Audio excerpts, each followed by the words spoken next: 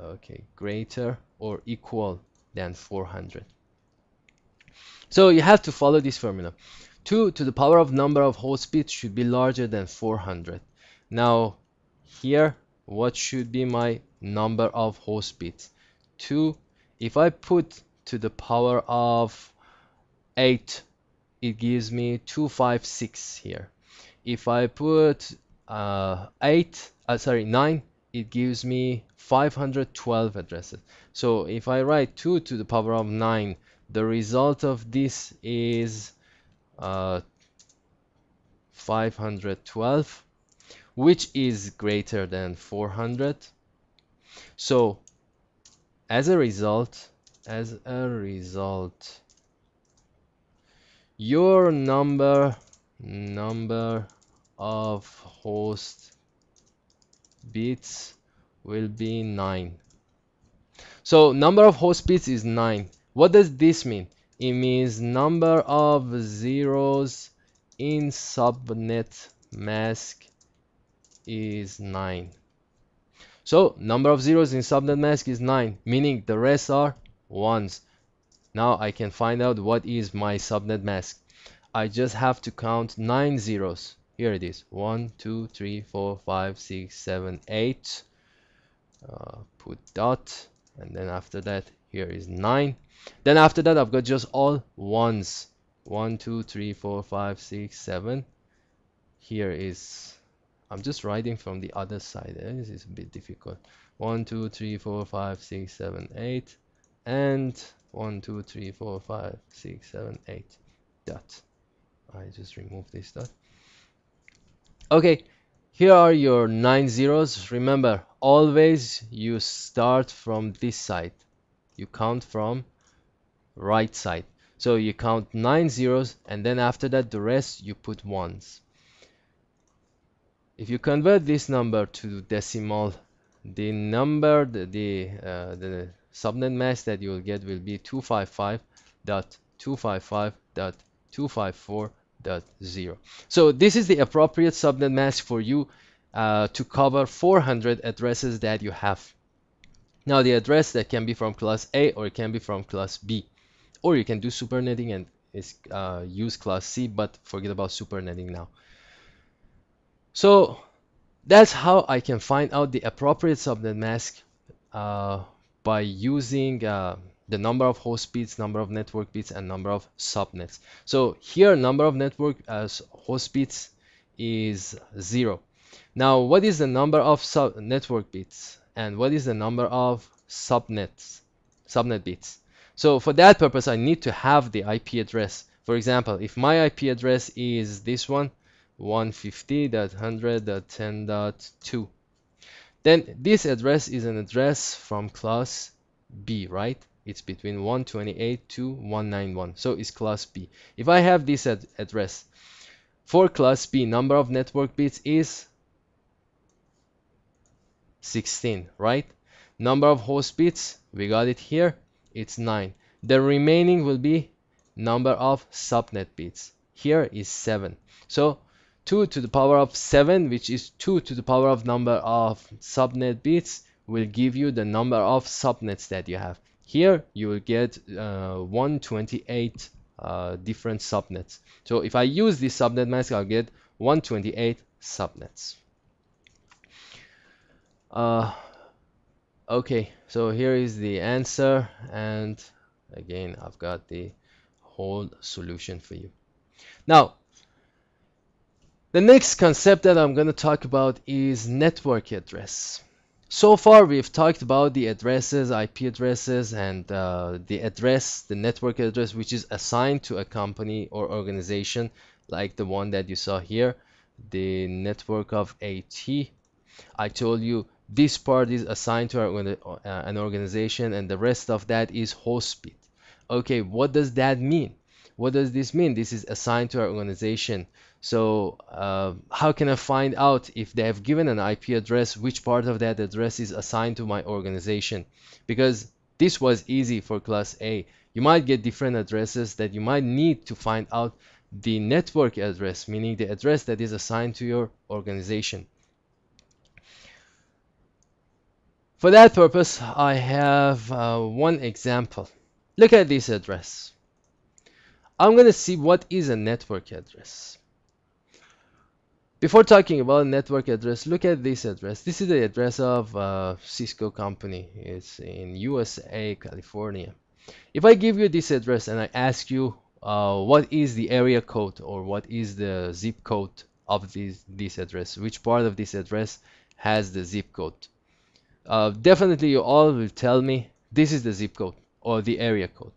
Now, what is the area code? 95134. Area code means if you have an area and you have many houses or offices, let me make it small. Uh, you have here are the houses. If you have you have one area and you have why can't I copy this? Copy. Here it is. Uh, imagine that these are houses and companies or whatever in this area.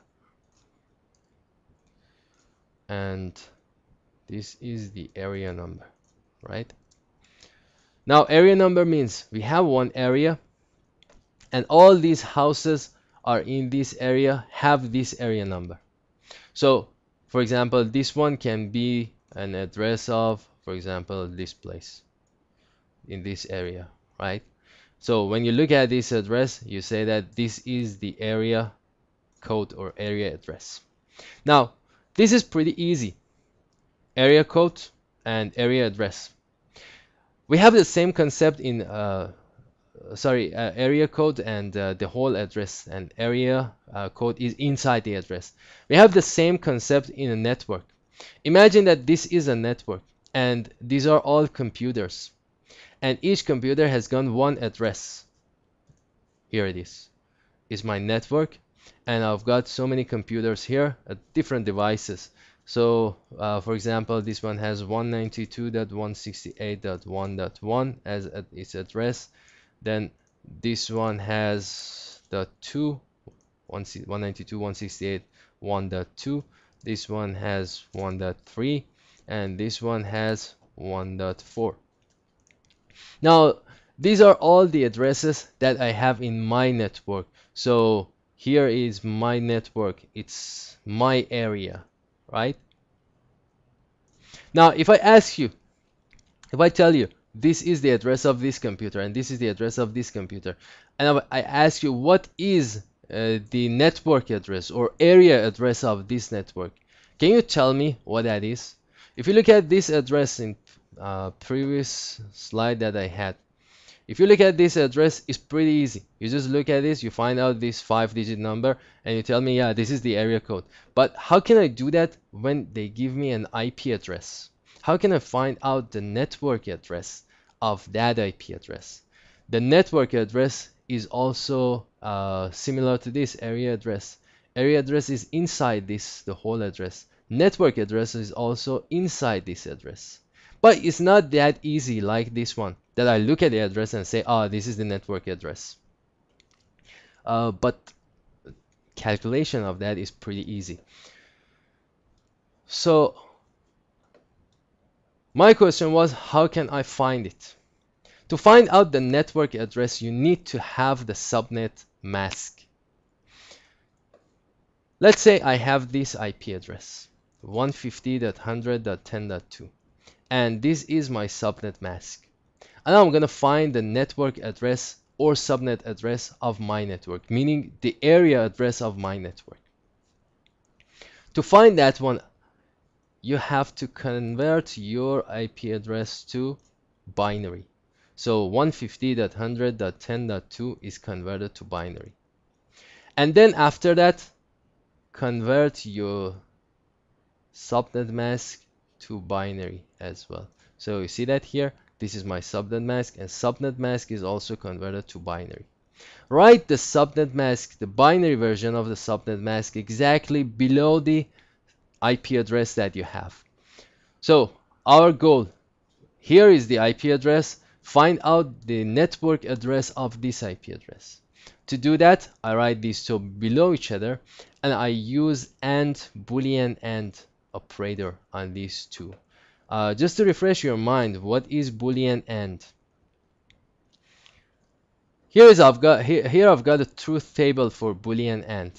You see that here, if I have two variables, A and B, and if I want to find out the AND of A and B, Boolean AND of A and B, the result of that, if uh, variable A has the value of that is 1 and variable B the value of that is 1 the result of ANDing of these two will be 1 if one is 1 the other one is 0 the result will be 0 if one is 0 the other one is 1 the result is 0 and if both are 0 the result again will be 0 so you see that the result of boolean AND will be 1 whenever you or wherever you have 1 on both sides. And if there is one 0 in one side it doesn't matter what you have on the other side. The result will always be 0 so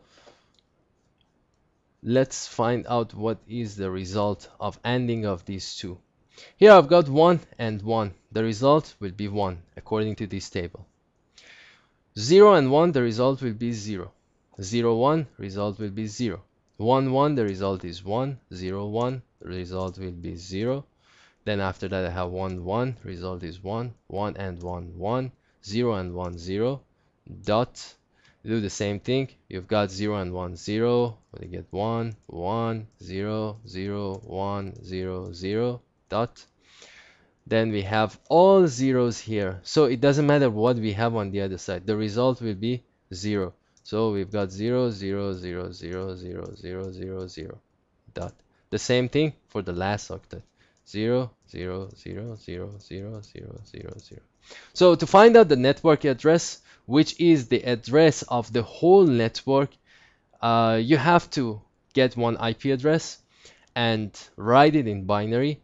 Then uh, write down the subnet mask in binary below the IP address and these two. And the result of this AND will be your network address. Now here I've got the network address. If I convert this to decimal, I'll get 150.100.0.0. So this will be your network address. Now this address is something similar to the address that I have here. Look, this is the address, area address, the address of the whole area.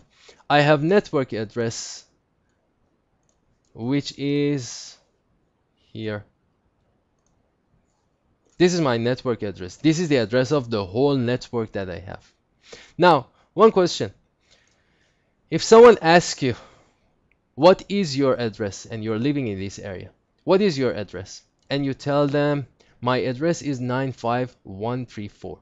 And your friend wants to write an envelope to you, uh, a letter to you and put in an envelope and send it to you. If you write, if he, if he send a letter to you and he puts this address, will you receive that letter? Definitely not. Because the letter comes, at best, that letter comes to the post office of this area. Then after that, they don't know where to send it. Because this is not your address. This is the address, uh, this is the area that you're living in. So this is part of your address, not your address. The same thing happens to a network address. If I want to assign this address to one I to a computer or to a client is impossible. It means that computer will never receive a packet because you have given the address of the whole area. So the packet will not come to that particular computer. If you want to send a packet to that particular computer, you have to assign one valid IP address, not the network address. So this is my network address.